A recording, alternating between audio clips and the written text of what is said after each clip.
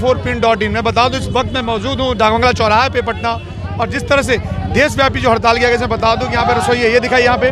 देखिए रसोइये इस तरह से मजदूरों का जो है, और अभी मैं बता दूँ कि यहाँ पे राजद ने समर्थन भी किया इन इस हड़ताल में, और मतलब राजद कार्यकर्ता भी यहाँ इकट्ठे थे। और यहाँ देख सकते हैं कि पीछे अभी जो मैं बता दूँ कि देशव्यापी आम हड़ताल में यहाँ महिलाओं ने भी भाग लिया। देखिए, मैं बता दूँ टेंपू चालक जो है ये मैं बता दूँ, बिहार राज्य ऑटो रिक्शा टेंपू चालक के लोग हैं यहाँ पे। ये मैं बता दूँ, देशव्यापी हड़ताल में रसोईया यूनियन यहाँ पे और मैं बता दूँ, मजदूर मजदूर यूनियन भी है, सारे यूनियन एक साथ इकट्ठे होकर इस देशव्यापी हड़ताल का हिस्सा बन रहे हैं। और डांगा चौराहे में मैं इस वक्त मौजूद हूँ। और अभी आपने देखा से पहले कन्हैया की बातें सुनी, कन्हैया जो हमारे बीच थे।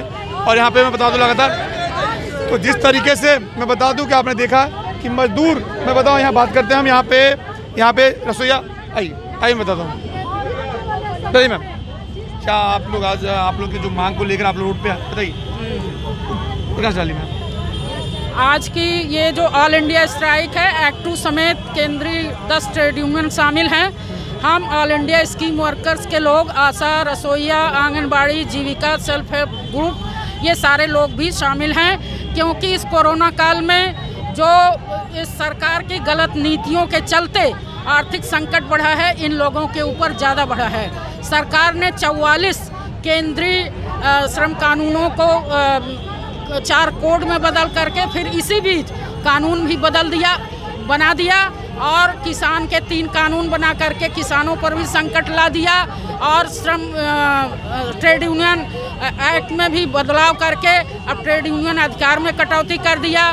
जो न्यूनतम मजदूरी थी, उसको भी ख़त्म कर दिया और ये जो स्कीम वर्कर्स के लोग हैं, इनको निजी हाथों में, एनजीओ में सौंप रही है। कोरोना काल में इसने काम करवाया, अभी तक एक पैसा मेहनताना नहीं दिया। जो लोग मरे, उनको जो घोषणा किया था, कोरोना वॉरियर्स को 50 लाख, उसको भी नहीं दिया। तो कष्ट अपरम्पार हैं। बेरोजगार लोग जो सेफ़ नौकरी में थे, उन लोगों को भी नौकरी खत्म हो गई। लेकिन सरकार के जो नुमाइंदे हैं, उनके कारपोरेट घराने के मित्र दोस्त हैं अंबानी हैं, अडानी हैं, सैकड़ों गुना उनकी संपत्ति बढ़ गई।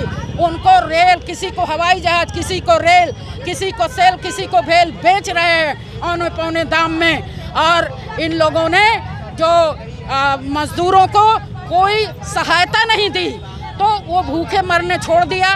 कोरोना से लोग मर रहे हैं और अपने लिए हवाई जहाज़ खरीद रहे हैं। अब इसी काल में, इसी काल में छिहत्तर फ्लैट बन के तैयार हो गए एमपी के लिए।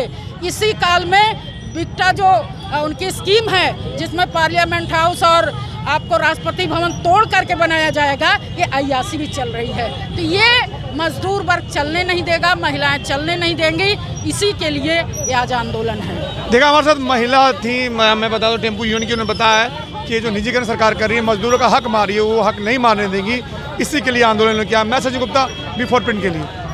ना भूलें।